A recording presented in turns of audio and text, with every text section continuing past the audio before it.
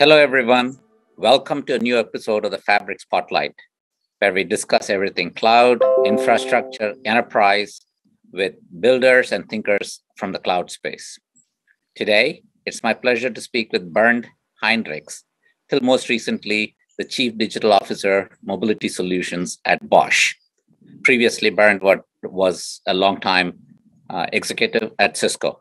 Hello, Bernd, and thanks for taking the time to speak with me today. Hi, Rajan. Nice to be here. So, Bernd, we uh, at the Fabric have uh, known you most recently as a Bosch executive. Uh, before you, we talk about your last role at Bosch itself, uh, would you talk about the journey that got you here and uh, also about the new role that you have recently assumed? Thank you, Rajan. Um, yeah, I, uh, you know, my my career started about 30 years ago when I uh, entered um, an engineering leadership role at, at, at Ericsson. And then I spent uh, a half lifetime, more or less, at, at Cisco working on different roads. And um, at the end, really running the IoT business for Cisco in uh, EMEA before joining um, Bosch Mobility Solutions as a chief digital officer. And in that role, I was really um, overlooking all the activities in external uh, type of digital transformation, in internal digital transformation, and in the cultural transformation, which we had to undertake really to prepare us in the mobility space for the future, which is in uh, which is not only a component type of business for Bosch, but which is software, services, and all of that. And now I decided really to leave the corporate world and uh, join a startup for the first time in my life, even though I have worked a lot with startups, but now being part of one startup, which is a German based startup, which is working on simplifying the uh, programming of robots in the industrial space and doing it on a on a kind of a platform type of approach, which is a no-code platform approach. The company is called Wandelbots, and it's uh, standing for change of robot space, Wandelbots in Germany. And uh, this, and I'm I'm taking the role as a chief growth officer, really scaling it up and trying really to to approach a market with sales, with staff, and um, and uh, marketing type of activities for the company. Congratulations! Uh, I'm sure it must be an exciting transformation uh, coming from Cisco and Bosch. I'm sure you'll bring a lot of value to them. I uh, hope so. Mm-hmm. So uh, let's talk about uh, your just your recent role uh, at Bosch itself in the digital transformation area first. Uh, yeah. What would you say you did in advancing the business agenda for Bosch through the digital transformation efforts? Uh, what key initiatives and innovations uh, were you focused on? Yeah, thank you for that question. I, I think I I gave a, a, first part of this answer in my previous answer because we first thought how can we structure digital transformation for a company like Bosch uh, in the mobility space. So we said there are internal focused activities uh, and there are external focus activities and there are cultural focus activities. And uh, what we did in the internal space is really we looked into processes in the first place. Do we have the right processes in in sales, in in the production field, etc. And uh, if not, how can we improve them, bring in higher efficiency, and uh, get people behind these ideas and get them really driving these ideas. And uh, what was really essential in succeeding in that is really taking the people into this process, right? For example, going into the factories and ask the people who are working in the factory what they would improve by automation, by robotization, and uh, make things more efficient and, and, productive. And we taught them how to implement it and uh, really to get into process automation. That was a big, big step. But we also looked into all the tool landscape which we had in place. Where can we optimize? Where we where can we standardize? Where can we consolidate? Uh, really to get better. And that was that was that were some of the parts we did in the internal space.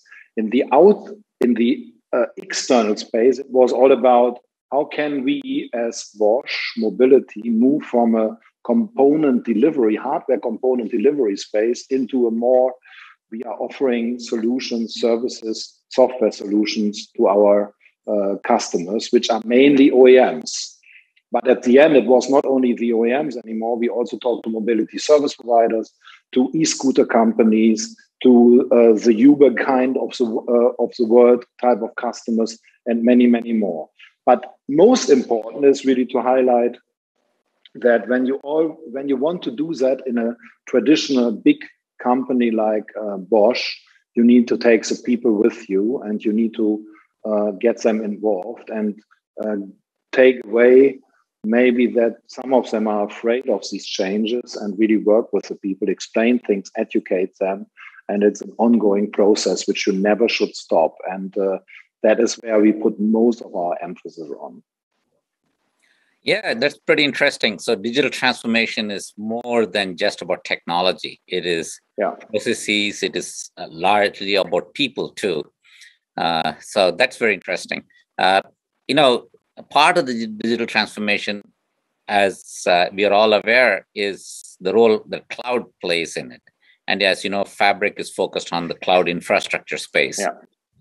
Uh, what are the key areas of cloud adoption, and not just in Bosch, but in general that you see? And how do you see it even affecting the startups that you're moving into? Yeah, you know, the uh, I think what is key and essential really to get into the cloud world is really on both sides again, internal and external. And we did a lot of the activities internally, really to to to to make clear to the organization that cloud doesn't mean it is insecure. It is secure if you build it in the right way.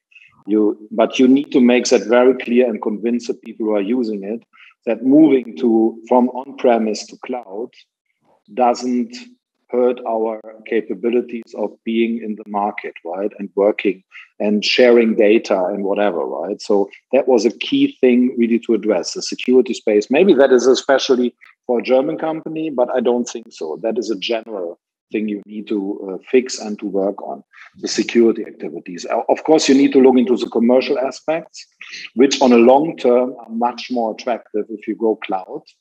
And then third is really that you that you that cloud in my understanding is not only a centralized cloud but cloud is more than a centralized thing. It is a it is a combination of centralized and decentralized approach going into the edge right? And uh, really uh, for for internal tool setup but also for the external services we are offering. And i'm a strong advocate of going edge because i believe data especially for the business, has especially a, a, a, value if you act on the data in real time. And if you want to act on the data in real time, you need to do it in an edge, which is a distributed cloud. And if you if you think about a car which is in motion, if you want to automate the driving of the car and do things like that, and you want to offer safety topics, uh, then you need to work on the data in real time. And that is clearly understood. And it was really a convincing argument for the company to move that uh, into this direction in a more aggressive way. Oh, yeah, that is uh, wonderful. You led almost uh, into my uh, second set of questions, or you pretty much answered a lot of my second set of questions, which was all about the edge. But you hit upon an interesting point, which is that data is distributed and also become very, very important, especially as you look at the IoT space and mobility space. So, what kind of innovations that you see happening at the edge? Uh, is it more about data? Is it more about security? Is it about uh, in the from an infrastructure standpoint? Is it about Kubernetes? Um, what are the uh, major technology innovations that you see, and what are the challenges that you see as people adopt uh, the edge cloud?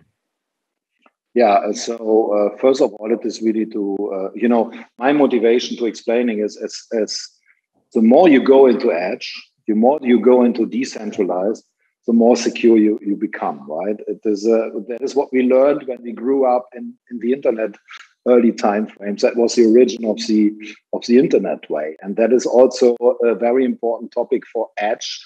Edge makes things, in my view, much more uh, secure and uh, difficult to track and uh, observe from the outside than than a pure centralized type of solution, which is a, a cloud in the original way of thinking, right? So uh, that is very important. And the technologies which play a key role are, of course, security related. But uh, you need to look into the different, I think they are use case dependent. If I build an edge solution for a driving car, it is different than an edge solution for a factory or for a plant, and it's different uh, uh, than an edge solution for a, for a power tool type of activity. So we had to build solutions which have similar building blocks around security, around data mining, but also immediate and and that is for me the key. And I mentioned it before: immediate, real time type of activities. And uh, how can you do that? You cannot do it with fixed algorithms. You need to learn from the data how to act on this. And then a lot of new technologies come into place, like machine learning type of things, deep learning things, like really AI capabilities, which make it happen. Edge without AI capabilities will not work, in my view. Okay. Uh, interesting. Uh, you talked a lot about uh, AI, deep learning, and also data. And the, an interesting perspective that you brought was actually that you are more secure by having data distributed than centralized. Mm-hmm. Um, can you also touch a little bit about the quality of experience along in a distributed world? How uh, how you think uh, the quality of experience for untethered mobile workers uh, in this new normal, which is a distributed workforce working from different parts, uh, I'm sure that is also an issue in addition to the security uh, in the space. Uh, so yeah, absolutely. So um, working in a distributed world from different locations, I, I, think I grew up with that, right? So I, I did it in my my lifetime at, at Cisco all the time, and it is based on the pandemic. It is introduced also in the Bosch type of working uh, really actively. And uh, we learned, uh, not by intention, but uh, by maybe by, how do you call it, by chance, uh, that working in a distributed way on, on projects together is is as performant than doing it in the same room at the same location and the same environment. And uh, it is accepted at Bosch that distributed working and working in a remote type of way, in a virtual type of way, is as productive as working, or in most cases, depending on what you're working on, than working in the same location. If that was your question. Yep, yep. Uh, my question also related to do you see uh, workers complaining about their quality of experience because they are now moving away from a, uh, an office setting to having to work in places with uh, probably uh, varying qualities of uh, the connectivity? Do you see that as an issue? Uh, and do you, I, I'm sure you would see that in a mobility standpoint, from a car standpoint, as the cars yeah. move from place location to location. No, I'm, I agree with you. It, it is definitely an issue. Of course, if I would work in an environment where you are now, it, I, I would really love it. So it's it's nice to work no, it is. Um, no, they are complaining. Yes, they are complaining because, but it depends. You know, uh, it's not only a, a moving uh, type of environment where it's getting complicated. Yesterday, I, I took a fast train in Germany, and I was on the on the, in the train, and uh, I I remember when I was in a train five years ago, it didn't work with a with a really good connection, but now it worked, right? So it was really top quality. I could really stream I could do everything what I wanted to do, which I normally do in a in an office location. I would say uh, working from home sometimes is is worse than working in a train in Germany because Germany, for example, is behind the broadband, and I'm open on that, and I'm not hiding that. Germany is behind the broadband uh, penetration compared to a lot of other com- countries. And uh, we really need to improve that situation. And uh, I'm sure in the US or in other countries it's better. That is my experience.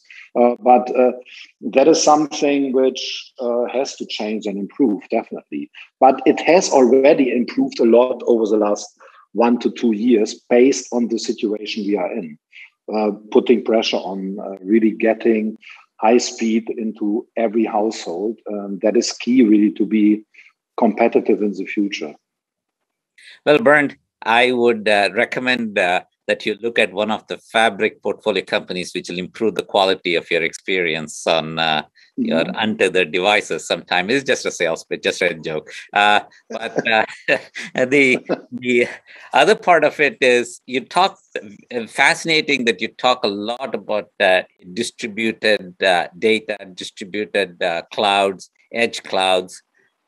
I'm sure in that theme of uh, a distributed environment, which you seem to be passionate about, what do you see blockchain playing a role in this particular environment, uh, whether it is IoT, whether it is supply chain? Uh, what kind of uh, enterprise blockchain initiatives that uh, you have seen in the uh, marketplace, and what have you undertaken any initiatives in the space? Yeah, of course, at Bosch, we are very active in the blockchain uh, area. Also, when, when we talk about IoT, when we talk about millions of devices, blockchain is a vehicle really to secure the environment even better, really to build negotiations between different devices in a, in a really productive way. And that is where Bosch is really, I would say, is investing a lot, is a forerunner. And especially in a mobility world, which with a lot of moving parts, with millions, billions of devices, blockchain is a key really to enable a, a really a high performance, secure type of environment. And uh, I wouldn't say we have the products on the road yet already, but uh, you will see a lot of activities from Bosch in this direction, right? And for, for me, it is there is no IoT, no no real IoT world without AI and without blockchain behind it. They solve the problems of data and the prob- uh, data really working on data and taking value out of it, and the problem of security. And uh, and th- these are the essential problems which I identified at the beginning. Uh, that is tremendous insight. So, if uh, I were to paraphrase you, you would say that AI, blockchain, and a distributed uh, data environment are very key moving forward uh, in, yeah. the new world. Nice. Exactly. Uh, you have been at Cisco for a very long time, and yeah. then most recently at Bosch, and now uh, into a startup. Uh, and you you have worn various hats from vendor to a customer. Um, in the cloud, from a cloud perspective, what can you share? Uh, any insights about the cloud infrastructure from the various vantage points uh, that you have had uh, uh, till very recently. Yeah, and it's even I would extend it even to the startup I'm working on now, right? This uh, yep. maybe I start with that, right? So we are what this startup is doing, and I'm part of it. Therefore, I'm talking we now in that respect.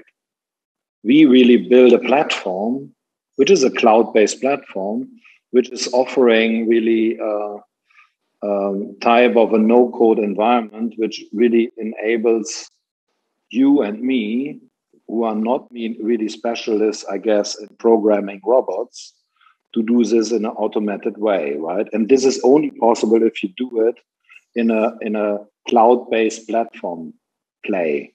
And uh, because otherwise you don't get enough data, you don't get enough inputs, you don't get, get enough environments really connected. You need to do it cloud based, and that is what we are doing, right? And I am convinced this brings business opportunities not only for the company but also for the customers, which we cannot really even um, sense at the moment. It is completely big and completely new, and uh, we will see what what type of services and applications and uh, will be generated based on that that is what I'm doing now, right? And I'm I'm really curious to see that. But of course, if I look back into my um, my uh, beginning at, at Cisco or my journey at Cisco, right, it, it became it became clear to all of us that, that cloud is really the enabler for a lot of new type of network designs and communications environments. And, uh, you know, Cisco itself with WebEx and with other things was an early cloud company. I, I once said, you know, I, or, or Chambers said it, John Chambers, um, WebEx was initially the biggest cloud offering in the world, right? Uh, really going uh, and using uh, a cloud-based type of environment for communications, video, and whatever collaboration, and uh, and you see how it evolved and uh, how many uh, type of activities and similar solutions, Zoom and Teams and whatever, Uh, popped up, which are all cloud-based. Right? There is no life without a cloud anymore, and that is that is going to happen. And if you then look into the mobility space at Bosch it is definitely the case that, that Bosch is working towards a mobility cloud solution, which is really offering services for different OEMs, for different customers, based on a platform which is a cloud platform again, right? Which which can be agnostic about the underlying physical type of environment, which can be all kind of a, uh, of environments, but uh, it is really adding the uh, the cloud um, let's say, the, cloud services added by Bosch on top of these different hardware platforms below, right? So it is the whole cloud journey started from me for me already 15, 20 years ago at Cisco, and it was always part of my journey. And Wandelbots, the new company I'm in, it is at the end, it's all about a, a, a platform cloud-based approach, right? Which makes a difference. Awesome. Uh, you probably heard uh, my dog bark uh, behind me. As, yeah. Uh, fortunate. So he agreed. That's good. we agree that is good. Absolutely. Mm-hmm. Uh, the cloud-based environment makes this possible that we could work wherever we are and doing this kind of video collaboration. Uh, as a part of both uh, Cisco, Bosch, and now in your new avatar, you have been exposed to startups quite a bit. I'm sure as a customer for from startups you've met entrepreneurs i'm sure you have advised them. What perspectives would you share with entrepreneurs for this new world? Uh, what advice would you give them? What successes what do you see as uh, the uh, the uh, formula for success or what have you seen as things to avoid for failures I only can say, you know, I'm a big advocate of really saying, okay, and I, I work a lot with startup, but I, I was also in the uh, in the uh, Cisco strategy office for a few years doing M and A activities for Cisco in the beginning 2000 timeframe. And uh, but I want to say, I I I think the biggest chance of really becoming big and scalable and a successful company later on originating out of a startup is really going cloud it is going platform and it's going not only B2C, but in the meantime also B2B. And uh, that gives you a reach and a, and a structure, if you do it in the right way, which is reducing costs on the other side in terms of sales, in terms of operations, etc., by, by going this way. And it gives you an exponential type of journey possibility if you do it right compared to anything else which is not cloud, which is an is a kind of a linear business perspective I would give it, right? So I would always, if, if it's possible, think about cloud-based, platform-based if you want to become big and successful. Thanks, Bernard, for the very insightful conversation. And Thank uh, you. You're welcome. And uh, stay tuned for another uh, episode of the Fabric Spotlight series. Thanks, everyone.